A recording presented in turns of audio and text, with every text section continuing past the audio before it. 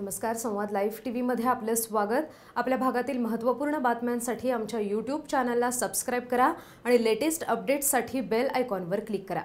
आता पाहूयात आजची महत्त्वाची बातमी. अहमदनगर येथील लष्कर कॅम्पमध्ये घुसखोरीचा प्रयत्न करणाऱ्या तिघांना सैन्यातील जवानांनी पोलिसांच्या ताब्यात दिलंय. उत्तर प्रदेशातील दोन तर अहमदनगर जिल्ह्यातील एकाचा यामध्ये समावेश आहे. प्रवेश निषिद्ध क्षेत्रात हे तिघे फिरत असताना त्यांच्या संशयित हालचाली जवानांच्या लक्षात आल्या. जवानांच्या चौकशी दरम्यान उडवाउडवीची उत्तरं देत असल्यामुळे या तिघांनाही पोलिसांच्या ताब्यात देण्यात आलंय.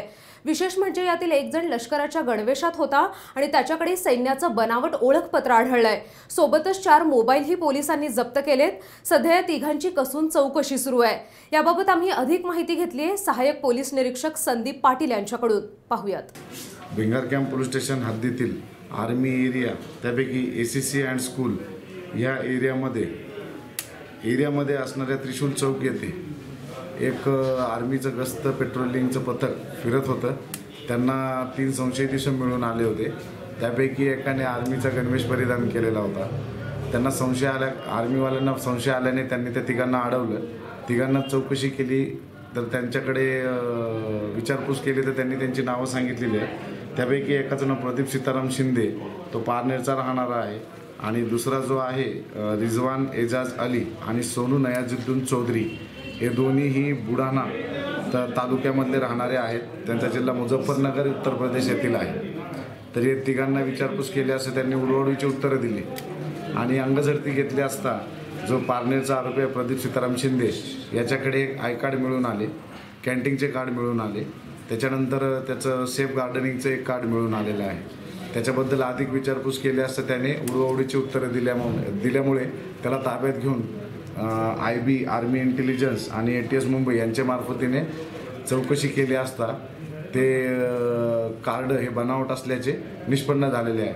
सध्या भिंगार कॅम्प पोलीस ठाणे येथे त्यांच्याविरुद्ध गुन्हा रजिस्टर करण्यात आलेला आहे आणि त्याचा तपास पोसेसी कवडे हे करीत आहेत.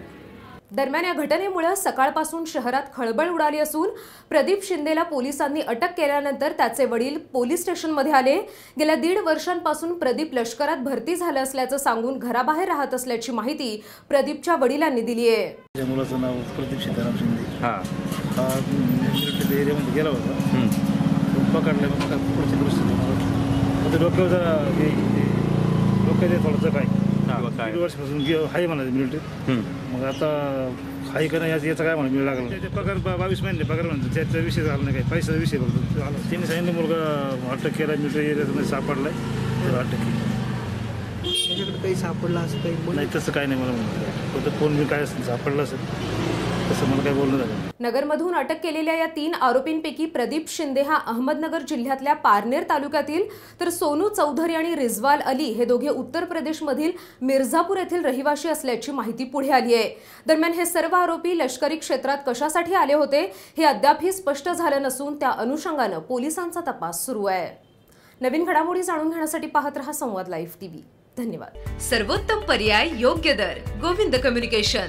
आता मोबाईल मिळेल आपल्या बजेटमध्ये खास ग्राहकांसाठी घेऊन येत आहोत आकर्षक ऑफर बजाजच्या जुन्या ग्राहकांसाठी फक्त एकशे एक रुपयांच्या डाऊन पेमेंटवर मोबाईल उपलब्ध. स्वप्नातला स्मार्टफोन झिरो टक्के व्याजदरावर सात हजार व त्यापुढील स्मार्टफोन खरेदीवर मिळवा वीस टक्के डिस्काउंट सोबतच भन्नाट एक्सचेंज ऑफर जुना मोबाईल द्या आणि नवीन मोबाईल घेऊन जा. अधिक माहितीसाठी आजच भेट द्या. गोविंद कम्युनिकेशन.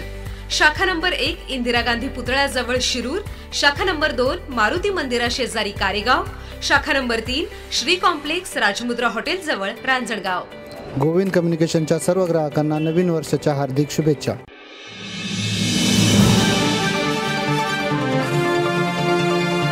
संवाद लाईव्ह टीव्ही आपला विश्वास आपलं चॅनल.